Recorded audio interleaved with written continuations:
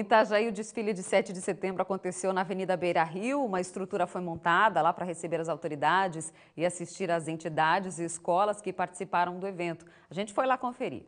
Mesmo com a garoa, teve desfile. As escolas da rede municipal, estadual, ONGs, entre outras entidades, começaram a desfilar às 9 horas da manhã. 7 de setembro é o dia de comemorar a independência do Brasil, resgatar o espírito cívico e patriota. Está ótimo, está muito interessante e é bom a gente refletir essa nosso lado da cidadania, né? 7 de setembro, uma data especial, tá muito bonito. Importante de refletir a cidadania, o desfile tá muito bonito.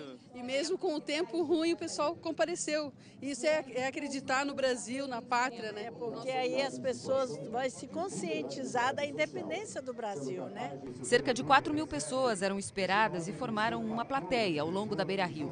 E muitas autoridades também estiveram presentes. Toda a nossa rede escolar municipal, que são mais de 34 mil alunos, mas também as, a rede privada, as entidades, todas as entidades. É um momento de união cívico, de uma união cívica na cidade, né, para uma justa homenagem à nossa amada pátria Brasil.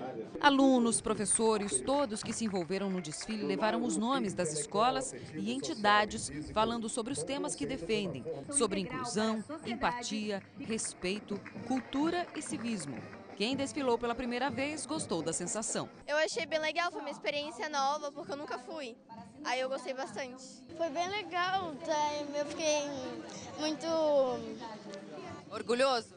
Orgulhoso também com muita pressão, porque tive um monte de gente. Daí, Todo mundo assistindo? Todo mundo assistindo, uma pressão. E você ensaiou para o desfile? Ensaiei.